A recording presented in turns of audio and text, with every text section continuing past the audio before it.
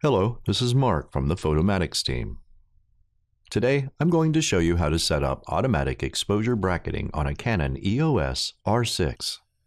This will let you take three or more photographs, each at a different exposure, when you press the shutter button. Switch the camera on and locate the mode dial, which is on the top right of the camera. Turn the mode dial so that M, for manual, lines up with the white marker.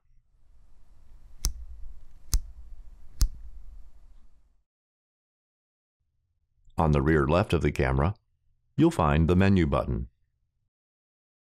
Press it and you'll see the main menu on the screen. On the right-hand side is the Quick Control button, or Q button for short which moves between menu tabs. Press it five times to get to the Custom Functions tab. Below the mode dial is the multi-controller, which is used to navigate through the menu. Push the multi-controller down five times. This will get you to the entry for number of bracketed shots. Press it straight in to get to the list of possible choices. You can choose another value by pushing the multi-controller down or up. Let's keep it at the default number of three shots. So press the Set button to save and leave the settings. Then pressing the menu button once will exit the menu. Now you're ready to activate Automatic Exposure Bracketing. The easiest way to do this is from the Quick Control screen. To get there, press the Info button. Then the Q button. From here, you can either change the highlighted setting or move to another one using the multi-controller. You might see a different setting highlighted to start with. I want to edit the exposure scale, so I'll push the multi-controller down to get to the second row. This will highlight the exposure scale. Using this scale, you'll set how many exposure value steps will separate your bracketed shots. 2 EV is a good choice for HDR scenes. To set this, locate the main dial on the top right of the camera and roll it six places to the right.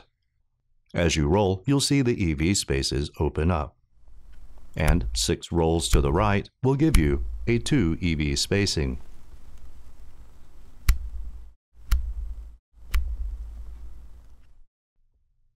There's one last thing to do before you are ready to shoot. Setting continuous shooting mode so that you can take all bracketed shots by just keeping your finger on the shutter button. You can do that in the Quick Control view too. To do that, press the down direction key of the multi-controller twice and the right-hand direction key twice to highlight the single frame icon. To change the value, turn the main dial one roll to the right to select High Speed Continuous Plus. Press the Q button when you're finished to save your changes. Then, press the Info button to switch back to the shooting screen. All you need to do now is to keep the camera still, press and hold down the shutter button until all the photos are taken. Once you've taken the bracketed photos, you can merge them to HDR in Photomatix.